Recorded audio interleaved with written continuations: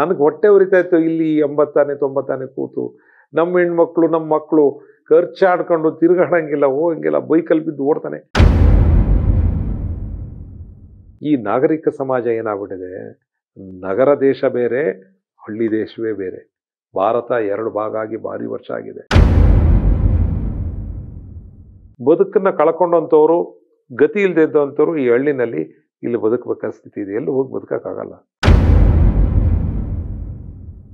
ಐವತ್ತು ಕೋಟಿ ಹಣ ಬಂದರೆ ಅದರಲ್ಲಿ ಇಲ್ಲಿ ಕೊಡೋದು ಐದು ಕೋಟಿ ಇನ್ನು ಮಿಕ್ಕಿದ್ದೆಲ್ಲ ಬಯಲಿಗೆ. ಮಲ್ನಾಡ್ನವರು ಒಂದು ವರ್ಷಕ್ಕೆ ಹದಿನೈದು ಸಾವಿರ ಕೋಟಿ ರೂಪಾಯಿ ಫಾರಿನ್ ಎಕ್ಸ್ಚೇಂಜಲ್ಲಿ ನಾವು ಕೊಡ್ತಾ ಇದ್ದೀವಿ ಈ ಭಾಗದಿಂದ. ಒಂದಿನ ಈ ಸತ್ತ ಮನೆಗಳಿಗೆ, ಈ ಸಾಯ್ತಾರ ಮನೆಗಳಿಗೆ, ಈ ಸಾವಿನ ಮನೆಯಲ್ಲಿ ಅವರು ಕೊಳ್ಳಿ ಹಿಡ್ಕೊಂಡು ತಿರುಗಾಡ್ತಾರೆ ಬಿಟ್ಟರೆ ಅವರಂತರು ತುಂಬ ಜನ ಪರಿಸರವಾದಿಗಳು, ಅವ್ರಿಗೆ ಏನು ಗೊತ್ತೇ ಇಲ್ರಿ. ಆನೆ ಸಮಸ್ಯೆ, ಈ ಸಂಘರ್ಷ. ರಾಜಕಾರಣಿಗಳು, ಅಧಿಕಾರಿಗಳು, ಅಧಿಕಾರ ಇರೋವರ ಬೇಜವಾಬ್ದಾರಿತನ. ನಿಮಗೆ ಮೊನ್ನೆ ನೀವು ಮನೆರ್ಘಟ್ಟ ಸುತ್ತ ಒಂದು ಮೂರು ಚಿರತೆ ಬಂದು ಅಂತ ಸುದ್ದಿ ಆಯಿತು. ಯಾವ ಟಿ ವಿ ಮಾಧ್ಯಮ ತೆಗೀರಿ ಹುಲಿ, ಅದರದ್ದು ಚಿರತೆ, ಹೆಜ್ಜೆ, ಅದರ ಬೋನು, ಅಯ್ಯೋ ಅದರ ಅಬ್ಬರ ಕೇಳಿಬಿಟ್ರೆ ಅಸಾಧ್ಯ ಅಬ್ರ, ನನಗೆ ಹೊಟ್ಟೆ ಉರಿತಾ ಇತ್ತು ಇಲ್ಲಿ ಎಂಬತ್ತಾನೆ, ತೊಂಬತ್ತಾನೆ ಕೂತು. ನಮ್ಮ ಹೆಣ್ಮಕ್ಳು ನಮ್ಮ ಮಕ್ಕಳು ಖರ್ಚಾಡ್ಕೊಂಡು ತಿರುಗಾಡಂಗಿಲ್ಲ, ಹೋಗಂಗಿಲ್ಲ ಬೈಕಲ್ಲಿ ಬಿದ್ದು ಓಡ್ತಾನೆ. ಇದು ಒಂದು ಕೂಡ ಲೆಕ್ಕಕ್ಕೆ ಇಲ್ವಾ? ಒಂದು ಸಣ್ಣ ನಾಯಿ ಯಾವುದೋ ಒಂದು ಅಟ್ಯಾಕ್ ಮಾಡಿ ಒಂದು ಸಾಯ್ತು ಅಂದರೆ ಮೇನಕಾ ಒಂದಾಯಿತು ಮಾಧ್ಯಮಗಳಲ್ಲಿ ಬಂದಾಯಿತು, ರಾಜಕಾರಣಿಗಳಲ್ಲಿ ಹೋಗಾಯ್ತು, ಅವರು ಕೇಳದಷ್ಟು ಅವ್ರಿಗೆ ದುಡ್ಡು ಕೊಟ್ಟಾಯಿತು. ನಾನು ಇತ್ತೀಚೆಗೆ ನೋಡ್ತೀನಿ, ಗುಂಡಿಯನ್ನು ಬಿದ್ದು ನೆಗೆದು ಸತ್ತರು. ಏನು ಸುದ್ದಿ ಆಗತ್ತೆ ಆಗತ್ತೆ. ಬೆಂಗಳೂರು ಗುಂಡಿ. ಅದೇ ನೀವು ಹಳ್ಳಿನಲ್ಲಿ ಗುಂಡಿಲಿ ಬಿದ್ದು ಸಾಯ್ತಾರಲ್ಲ ದಿನ ಬದುಕಾಳಾಗ್ತಾ ಇದಲ್ಲ. ಏನಾಗಿದೆ? ಈ ನಾಗರಿಕ ಸಮಾಜ ಏನಾಗ್ಬಿಟ್ಟಿದೆ? ನಗರ ದೇಶ ಬೇರೆ, ಹಳ್ಳಿ ದೇಶವೇ ಬೇರೆ. ಭಾರತ ಎರಡು ಭಾಗ ಆಗಿ ಭಾರಿ ವರ್ಷ ಆಗಿದೆ. ಇಡೀ ವ್ಯವಸ್ಥೆ ಮತ್ತು ರಾಜಕೀಯ, ಕತೆ, ಕಾದಂಬರಿ ಎಲ್ಲ ನೋಡಿ ನಗರ ಕೇಂದ್ರೀಕೃತವಾದಂಥವು. ಯೋಜನೆಗಳು ನಗರ ಕೇಂದ್ರೀಕೃತವಾದಂಥವು. ಕೊನೆಗೆ ಮಾತಾಡಿದರೆ ನಮ್ಮ ಬೆಂಗಳೂರು ದುಡ್ಡು ತಗೊಂಡು ನೀವು ತಿಂತಾ ಇದ್ರೆ ನಿಮ್ಗೇನ್ರಿ? ಎಷ್ಟು ರೆವಿನ್ಯೂ ಬರ್ತದೆ ಅಂತ ಕೇಳ್ತಾರೆ. ಎಲ್ಲ ನಾವೇನಾಗಿದೆ ಅಂದರೆ ಬದುಕನ್ನು ಕಳ್ಕೊಂಡಂಥವ್ರು ಗತಿ ಇಲ್ಲದೆ ಇದ್ದಂಥವ್ರು ಈ ಹಳ್ಳಿನಲ್ಲಿ ಇಲ್ಲಿ ಬದುಕಬೇಕಾದ ಸ್ಥಿತಿ ಇದೆ. ಎಲ್ಲೂ ಹೋಗಿ ಬದುಕೋಕ್ಕಾಗಲ್ಲ.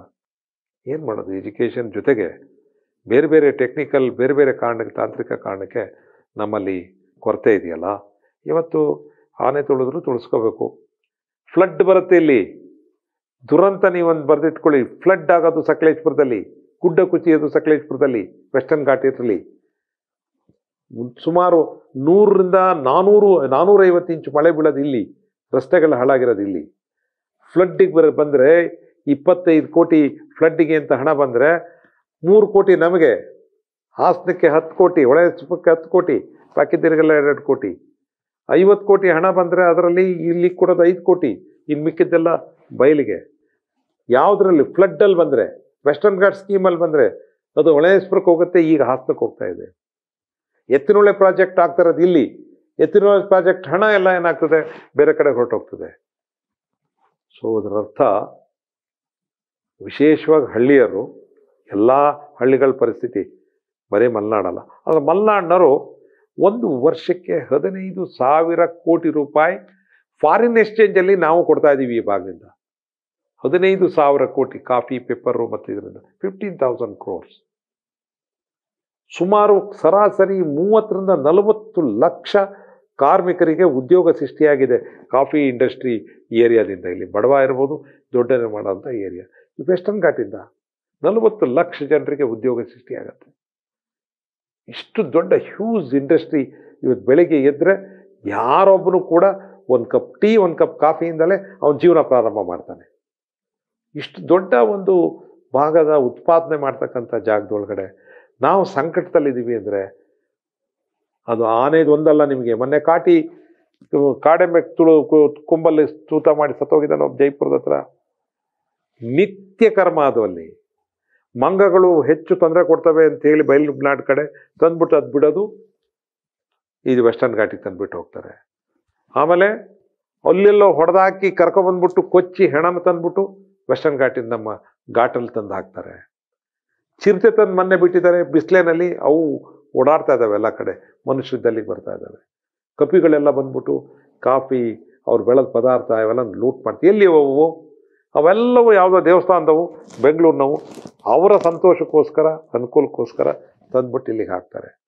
ಯಾರೋ ಒಂದು ಕಪಿಗಳ ಕಾಟ ತಡಿನಾರದಲ್ಲಿ ತೊಗೊಂಡೋಗೋಣ ಅಂತಲ್ಲಿ ಇದು ಮಾಡಿದ್ದು ಸತ್ತೋದು ಅಂತೇಳಿ ಹಗರಿನಲ್ಲಿ. ಅವ್ರು ಇನ್ನೂ ಜೈಲಿಂದ ಹೊರಗೆ ಬಂದಿಲ್ಲ. ಮೇನಕಾ ಗಾಂಧಿಯವರು ಡೆಲ್ಲಿನಲ್ಲಿ ಕೂತ್ಕೊಂಡು ಒಳ್ಳೆ ವಾತಾವರಣದಲ್ಲಿ ಇದ್ಕೊಂಡು, ಆಫೀಸಲ್ಲಿ ಇದ್ಕೊಂಡು, ನಾಲ್ಕು ಟೈಪಿಸ್ಟ್ ಇಟ್ಕೊಂಡು ಅವರು ಕೋರ್ಟು, ಕಚೇರಿ ಅಂತೇಳಿ ನೋಟಿಸ್ ಕೊಟ್ಕೊಂಡಿದ್ದಾರಲ್ಲ, ಒಂದಿನ ಈ ಸತ್ತ ಮನೆಗಳಿಗೆ, ಈ ಸಾಯ್ತಾರ ಮನೆಗಳಿಗೆ, ಈ ಸಾವಿನ ಮನೆಯಲ್ಲಿ ಅವರು ಕೊಳ್ಳಿ ಹಿಡ್ಕೊಂಡು ತಿರುಗಾಡ್ತಾರೆ ಬಿಟ್ಟರೆ ಅವರಂತರು ತುಂಬ ಜನ ಪರಿಸರವಾದಿಗಳೇ ಅವ್ರಿಗೆ ಏನು ಗೊತ್ತೇ ಇಲ್ರಿ. ನಗರದಲ್ಲಿ ಕೂತ್ಕೊಂಡ್ಬಿಟ್ಟು ಪರಿಸರದ ಬಗ್ಗೆ ಮಾತಾಡಿದರೆ. ರೇ, ಅದು ದತ್ ದತ್ತು ಬೇಡ, ನಾವು ಕೇಳ್ತಾ ಇರೋದ. ಎರಡು ಆನೆ, ಅವಕ್ಕೇನು ಇಲ್ಲ, ಆಹಾರ ಸುಮ್ಮನೆ ಒಳೆಸ್ಬಿಡ್ಕೊಬಿಟ್ರೆ ಸಾಕು. ಒಳೆಶ್ವರ ಯಾಕೆ ಹೇಳ್ತೀನಿ, ಅದು ಪೊಲಿಟಿಕಲ್ ಸ್ಟ್ರೆಂತ್ ಇದೋದು, ಕೇಂದ್ರ ಬಿದ್ದೋದು. It is a powerful place ದೇಶದ ಪ್ರಧಾನಿ ಇದ್ದಾರೆ.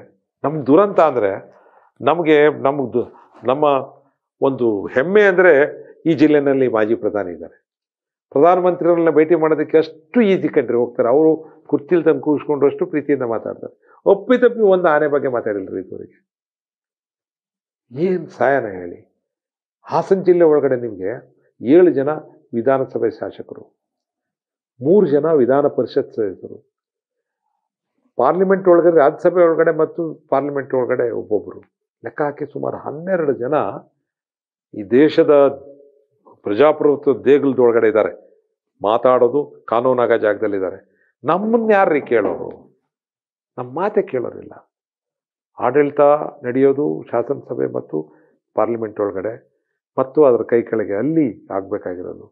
ಕಾನೂನು ಆಗಬೇಕಾಗಿರೋದಲ್ಲಿ ನಮ್ಮ ಕಷ್ಟ ಪರಿಹಾರ ಆಗಬೇಕಾದಲ್ಲಿ ಆಗ್ತಾಯಿಲ್ಲ ಒಟ್ಟಾರೆ ಹೇಳಬೇಕು ಅಂದರೆ ಆನೆ ಸಮಸ್ಯೆ, ಈ ಸಂಘರ್ಷ, ರಾಜಕಾರಣಿಗಳು, ಅಧಿಕಾರಿಗಳು ಅಧಿಕಾರ ಇರೋವರ ಬೇಜವಾಬ್ದಾರಿತನ ಮತ್ತು ಈ ಭಾಗನ ಅವರು ಉದ್ದೇಶಪೂರ್ವಕವಾಗಿ ಮೂಲೆಗುಂಪು ಮಾಡಿರೋ ಪರಿಣಾಮ, ಇದು ಸಮಸ್ಯೆನೇ ಅಲ್ಲ ಅಂದ್ಕೊಂಡು ಜೀವನ ಮಾಡ್ತಿರೋರ ಪರಿಣಾಮ, ಇವತ್ತು ಈ ಥರ ಸಂಘರ್ಷ ಸಂಘರ್ಷ, ಪ್ರಾಣಿ ಮತ್ತು ನಮ್ಮ ಮಧ್ಯೆ ಸಂಘರ್ಷ ಮತ್ತು ಸಾವುಗಳಾಗ್ತಾ ಇದ್ದಾವೆ. ಇದನ್ನು ತಪ್ಪಿಸೋದಕ್ಕೆ ಇವತ್ತು ಮನಸ್ಸು ಮಾಡಿದ್ರೂ ನಮ್ಮ ರಾಜಕಾರಣಿಗಳಿಗೆ ಅವಕಾಶ ಇದೆ. ಈಗಿರ್ತಕ್ಕಂಥ ತಕ್ ತಕ್ಷಣಕ್ಕಾಗಬೇಕಾಗಿರೋದು ಅದು ಎಸ್ಪೆಷಲಿ ನಿಮ್ಗೆ ಹೇಳಿದೆ ನಿಮಗೆ ಕರ್ನಾಟಕ ರಾಜ್ಯದೊಳಗಡೆ ಎಲ್ಲೂ ಕೂಡ ಹಾಸನ ಜಿಲ್ಲೆ ಅಂತ ಸಮಸ್ಯೆ ಇಲ್ಲ. ಆನೆ ಸ್ಥಳಾಂತರ number one number two solar and ಇದು ರೈಲ್ವೆ ಬ್ಯಾರಿಕೇಟನ್ನು ಸಕಲೇಶ್ವರದ ಅಂಚು ಮತ್ತು ಕೊಡಗಿನ ಅಂಚಿಗೆ ಹಾಕೋದು ಸದ್ಯದ ಪರಿಸ್ಥಿತಿ ಒಳಗಡೆ ಮತ್ತು ಎಂಟೈರ್ ವೆಸ್ಟರ್ನ್ ಘಾಟಿಗೆ ಹಾಕೋದು. ವೆಸ್ಟರ್ನ್ ಘಾಟ್ ಒಳಗಡೆ ಕಾಡಂಚಲ್ಲಿ ಇರ್ತಕ್ಕಂಥ ಹಳ್ಳಿಗಳನ್ನು ಸ್ಥಳಾಂತರ ಮಾಡೋದು. ಅಲ್ಲೂ ಬದುಕಿಲ್ಲ ಅವರಿಗೆ. ಹಾಳು ಬಿಟ್ಬಿಟ್ಟಿದ್ದಾರೆ ಗುಂಡಿ ಯೋಜನೆ ಅಂತ ಹಾಳು ಬಿಟ್ಟರು ಈ ಕಡೆಗೆ ಎತ್ತಿನೊಳೆ ಅಂತ ಹಾಳ್ಬಿಟ್ರು. ಈ ಕಡೆಗೆ ಈಗ ಆನೆ ಕಾರಿಡಾರ್ ಅಂತ ಹಾಳ್ಬಿಟ್ಟಿದ್ದಾರೆ. ಇಡೀ ವೆಸ್ಟರ್ನ್ ಘಾಟಲ್ಲಿ ಕಾಫಿಗಳಿಲ್ಲ, ಏಲಕ್ಕಿ ಇಲ್ಲ ಅಲ್ಲಿ. ಹಲಸಂದೆ ಬೆಳ್ಕೊಂಡು ಬೇಸಿಗೆನಲ್ಲಿ ಜೀವನ ಮಾಡ್ತಾರೆ. ಕೂಲಿನೂ ಇಲ್ಲ ಅಲ್ಲಿ. ಅವ್ರು ಜಮೀನು ಕೊಡೋಕ್ಕೆ ತಯಾರಿದ್ದಾರೆ. ಎತ್ತಿನೊಳಗೆ ಇಪ್, ನಲ್ವತ್ತು ಲಕ್ಷ ಕೊಡ್ತಿದ್ದಾರೆ. ಇಪ್ಪತ್ತು ಲಕ್ಷ ಕೊಟ್ಟರೆ ಅವ್ರು ಜಮೀನು ಕೊಡ್ತಾರೆ. ಅವ್ರ ಜಮೀನು ಐದು ಎಕರೆ ಇದ್ದರೆ ಸುತ್ತ ಐವತ್ತು ಎಕರೆ ಕಾಡಿದೆ.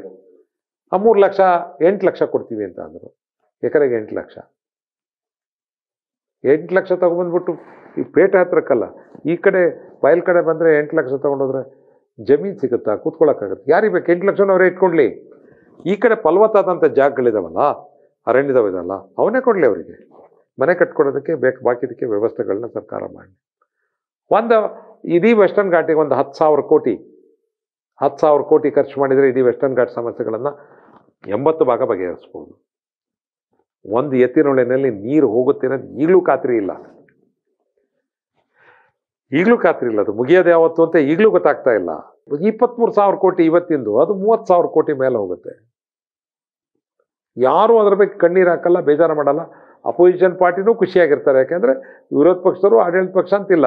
ಅಧಿಕಾರಿಗಳು ಗುತ್ತಿಗೆದಾರರ ಒಂದು ಅನುಕೂಲಕ್ಕೆ ಇವೆಲ್ಲ ನಡೀತವೆ. ಆದರೆ ರೈತರ ಪ್ರಶ್ನೆ ಬಂದಾಗ, ಜನರ ಪ್ರ- ಪ್ರಶ್ನೆ ಬಂದಾಗ ಎಲ್ಲರಿಗೂ ಕೂಡ ಸಾಲ ಹಣಕಾಸಿನ ವ್ಯವಸ್ಥೆ, ಎಫ್ ಡಿ ಬಂದ್ಬಿಡುತ್ತೆ ಅಡ್ಡ.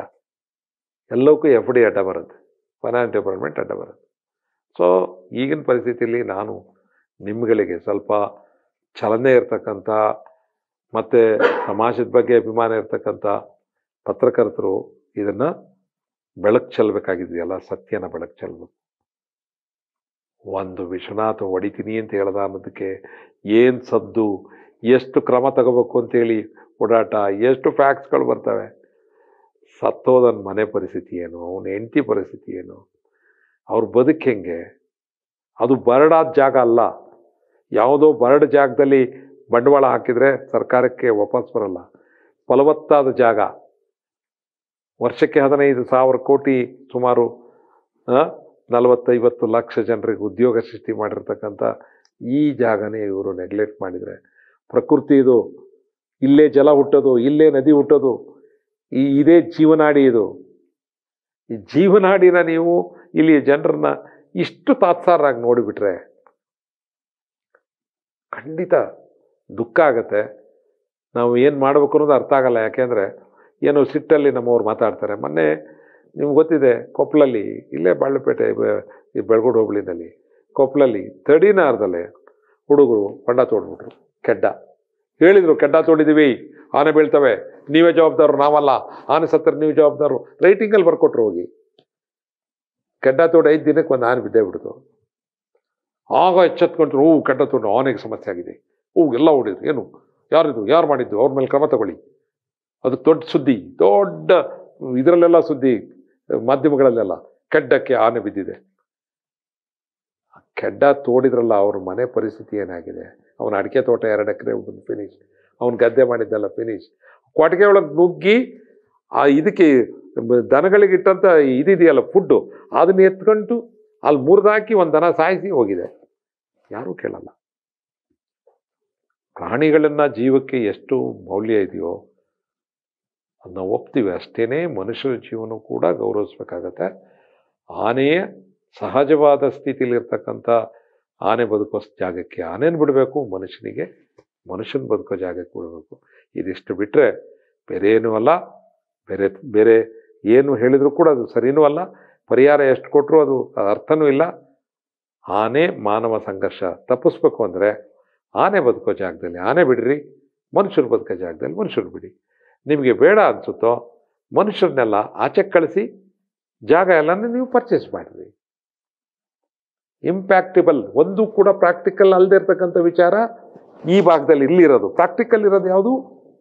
ನಿಜವಾದ ಸ್ಥಿತಿ ಇರೋದು ಯಾವುದು? ವೆಸ್ಟರ್ನ್ ಘಾಟನೆ ಇರೋದು. ಮೊದಲು ಇವ್ರ ತಲೆಗಳಿಗೆ ಬರಬೇಕು. ನನ್ಗೆ ತಮಾಷೆ ಮಾಡ್ತಾರೆ. ಏಯ್, ಆನೆ ಇರೋ ಜಾಗದಲ್ಲಿ ನೀವು ಕೂತ್ಬಿಟ್ಟು ನೀವು ಏನ್ರಿ ಮಾತಾಡ್ತೀರಾ ಅಂತ ಇಬ್ಬರು ಮಂತ್ರಿಗಳು, ಒಂದು ನಾಲ್ಕು ಜನ ಎಂ ಎಲ್ ಎಗಳು ಕೂತ್ಕೊಂಡು ನನಗೆ ಗೇಲಿ ಮಾಡಿದರು. ನಾನು ಮುಖ್ಯಮಂತ್ರಿಗಳು ನೋಡೋಕೆ ಹೋದಾಗ. ಹೊಟ್ಟೆವ್ರಿತ್ತು ನನಗೆ ಏನ್ರಿ ಹಿಂಗೆ ಮಾತಾಡ್ತೇ ಇಲ್ಲ ಇಲ್ಲ ಇಲ್ಲ ಇಲ್ಲ ಇಲ್ಲ. ನಾವು ಹೆಲಿಕಾಪ್ಟ್ರಲ್ಲಿ ಹೋಗ್ಬೇಕಾದ್ರೆ ನೋಡಿದ್ದೀವಿ ಹೆಲಿಕಾಪ್ಟ್ರಲ್ಲಿ ಹೋಗಿ ನೋಡ್ಕೊಂಡು ಹೋಗ್ಬಿಟ್ರೆ ಆಯಿತು ವೆಸ್ಟರ್ನ್ ಘಾಟನ್ನ ಬಿಡಿಸ್ಬಿಡಿ. ಕಸ್ತೂರಿ ರಂಗನ್ ಮೊದಲೇ ಹೇಳ್ತಾರಲ್ಲ, ಪೂರ ಬಿಡಿಸ್ಬಿಡಿ. ಎಲ್ಲರಿಗೂ ಒಂದು ಪರಿಹಾರ ಕೊಟ್ಬಿಡಿ, ಎಲ್ಲ ನೀರಾವರಿ ಜಾಗ ಬಿಡಿ ತಗೊಂಡೋಗಿ ಬದುಕಂತಾರೆ. ಅದಾಗಲ್ಲಂತೆ. ಇನ್ನೊಂದು ತಿಳ್ಕೊಳ್ಳಿ ನೀವು ಮಾಹಿತಿನ ಇಟ್ಕೊಳ್ಳಿ. ಸಕಲೇಶ್ಪುರ ತಾಲೂಕದ ಮೂವತ್ತರಿಂದ ಮೂವತ್ತೈದು ಪರ್ಸೆಂಟು ಭೂಮಿ ಬೆಂಗಳೂರಿನ ಭ್ರಷ್ಟರ ಕೈ ಸೇರಾಗಿದೆ, ಇಂಡಸ್ಟ್ರಿಗಳ ಕೈ ಸೇರಾಗಿದೆ. ಇವತ್ತು ಹಾರ್ಬಾಳ್ ಹೋಬಳಿ ಒಳಗಡೆ ನೂರೈವತ್ತಕ್ಕೂ ಹೆಚ್ಚು ರೆಸಾರ್ಟ್ ಹೋಮ್ ಸ್ಟೇಗಳಿದೆ ವೆಸ್ಟರ್ನ್ ಘಾಟ್ಸಲ್ಲಿ ಒಂದು ನೂರು, ನೂರೈವತ್ತು ಇದ್ದಾವೆ. ಅದರಲ್ಲಿ ಫಿಫ್ಟಿ ಪರ್ಸೆಂಟ್ಗೂ ಹೆಚ್ಚು ಬಂಡವಾಳ ಹಾಕಿರೋರು ಬೆಂಗಳೂರಿನ ಬೇರೆ ಬೇರೆ ಮೂಲದಲ್ಲಿ ಹಣ ಮಾಡಿದವರು. ಹೋಮ್ ಸ್ಟೇ ಅವು ಮಾಡ್ಕೊಂಡು ಬದುಕ್ತಾ ಇದ್ದಾರೆ. ಭೂಮಿ ಇವತ್ತು ಬಾಳೆಪೇಟೆ ಸುತ್ತಮುತ್ತ ನೂರರವತ್ತರಿಂದ ಇನ್ನೂರು ತೋಟಗಳು ಲೀಸಿಗೆ ಕೊಟ್ಟಿದ್ದಾರೆ ಹತ್ತು ವರ್ಷ, ಹದಿನೈದು ವರ್ಷಕ್ಕೆ. ಸೇಲಿಗೆ ಇಟ್ಟಿದ್ದಾರೆ. I think within ten year ಬೆಂಗಳೂರಿನಲ್ಲಿ ರಾಜಕಾರಣಿಗಳು ಮತ್ತು ಭ್ರಷ್ಟ ಮೂಲದಿಂದ ಮಾಡಿದಂಥ ಅಧಿಕಾರಿಗಳು ಬೇರೆ ಬೇರೆ ಮೂಲದವ್ರು ಮಾಡಿದಾರೆ ವರ್ಷಕ್ಕೆ ಪಶ್ಚಿಮ ಘಟ್ಟ ಹೊರಟೋಗುತ್ತೆ. ಸಿದ್ಧಾರ್ಥ ಅನ್ನೋ ದೊಡ್ಡ ಮನುಷ್ಯ ಸತ್ತೋಗ್ಬಿಟ್ಟ ಎಲ್ಲರ ಭವಿಷ್ಯ ನಾಶ ಆಗ್ಬಿಡ್ತು ಯಾಕೆಂದರೆ ಯುವಕರು ಹೆಂಗೋ ಹೋಗಲ್ಲ, ಒಂದು ಕೆಲಸ ಸೇರಿಸ್ತಾರೆ. ಇಂಗ್ಲೀಷ್ ಗೊತ್ತಿದ್ದವರಿಗೆ ಇಂಗ್ಲೀಷ್ ಕಲಿಸಿ ಕನಿಷ್ಠ ಮಾತಾಡ್ಸೋಕ್ಕೆ ಕಲ್ಸೋಕ್ಕೆ ಒಂದು ಕಾಲೇಜ್ ಮಾಡಿದರು. ಅವರೇ ಒಂದು ಸಾವಿರ ರೂಪಾಯಿ ಇನ್ಸೆಂಟಿವ್ ಕೊಟ್ಬಿಟ್ಟು ಊಟ ಕೊಟ್ಟು ಓದಿಸೋರು. ಆ ಮನುಷ್ಯ ಸತ್ತ, ಯಾರೂ ಕೇಳೋರಿಲ್ಲ ಇವತ್ತು ವೆಸ್ಟರ್ನ್ ಘಾಟ್ನ ಅವ್ರದ್ದೇ ಹನ್ನೆರಡು ಸಾವಿರ ಎಕರೆ ಮಾರಾಟ ಆಗಿದೆ. ಮೂರು ಸಾವಿರ ಎಕರೆನ ಒಂಬತ್ತು ಲಕ್ಷ ಎಕರೆ ಅಂತ ಇದೇ ರಾಜಕಾರಣಿಗಳು ದುಡ್ಡು ಹೊಡೆದವರು ತೊಗೊಂಡ್ರು. ಮೂರು ಸಾವಿರ ಎಕರೆ ತೊಗೊಂಡ್ರು. ಎಲ್ಲವೂ ಸೇಲಿಗಿದೆ. ಅದರಿಂದ ಅದಕ್ಕೆ ಇದೂ ಒಂದು ಕಾರಣ. ಆನೆ, ಮಾನವ ಸಂಘರ್ಷ, ಕಾಟಿ ಕಡವೆಗಳ ಸಂಘರ್ಷ, ಮಂಗಗಳ ಸಂಘರ್ಷ, ಬೆಲೆ, ಕಾರ್ಮಿಕರ ಕೊರತೆ, ಅದರ ಬೆಲೆ ಕೊಡೋಕ್ಕಾಗ್ದಲೆ ಎಲ್ಲ ಕಾರಣದಿಂದ ವೆಸ್ಟರ್ನ್ ಘಾಟ್ ನಿಮ್ಮ ಕೈತಪ್ಪು ಹೋಗ್ತಾ ಇದೆ ಸ್ಥಳೀಯ ಜನರಿಂದ. ಮೂಲ ನಿವಾಸಿಗಳು ಈ ಭಾಗದಲ್ಲಿ ಬದುಕಿದ್ದಂಥ ಕೂಲಿ ಕಾರ್ಮಿಕರು, ಇವರೆಲ್ಲರೂ ಕೂಡ ಗುಳೆ ಹೋಗೋ ಸ್ಥಿತಿ ನಿರ್ಮಾಣ ಆಗ್ತದೆ ಇಲ್ಲಿ. ಹಂಡ್ರೆಡ್ ಪರ್ಸೆಂಟ್ ನೋಡ್ಕೊಳ್ಳಿ. ಬರೇ ಆನೆ ಒಂದು ಸಮಸ್ಯೆ ಅಲ್ಲ. ಹತ್ತಾರು ಸಮಸ್ಯೆಗಳು ಇವತ್ತು ನಮಗೆ ಸುತ್ಕೊಂಡಿದ್ದಾವೆ. ನೀವು ತಿರುಗೋ ದಾರಿನಲ್ಲಿ ಐವತ್ತು ಭಾಗದ ತೋಟಗಳು ಹಾಳು ಬಿದ್ದಿದ್ದಾವೆ. ಐವತ್ತು ಭಾಗದ ತೋಟ ಹಾಳು ಬಿದ್ದಿದ್ದಾವೆ. ನೋಡ್ಕೊ ಬನ್ನಿ. ಉತ್ಪಾದನೆ ಕಮ್ಮಿ ಆದರೆ ಅದು ರಾಷ್ಟ್ರಕ್ಕೆ ಆಗ್ತಕ್ಕಂಥ ಆಘಾತ. ಒಂದೇ ಅಂಶ, ಪಶ್ಚಿಮ ಘಟ್ಟನ ಉಳಿಸ್ಬೇಕು ಅಂತಂದ್ರೆ ಇರೋದು ಈ ಸಂಘರ್ಷಗಳ ಮುಕ್ತವಾದಂಥ ಒಂದು ವಾತಾವರಣ ನಿರ್ಮಾಣ ಮಾಡಬೇಕು. ರಾಜಕಾರಣಿಗಳು, ಅಧಿಕಾರಿಗಳು ಮುಕ್ತವಾಗಿ ಈ ಭಾಗನ ಗೌರವಿಸ್ಬೇಕು ಇಲ್ಲಿ ಜನರನ್ನ ಮತ್ತು ಇಲ್ಲಿಯ ಸಮಸ್ಯೆನ ಗಂಭೀರವಾಗಿ ಪರಿಗಣಿಸ್ಬೇಕು.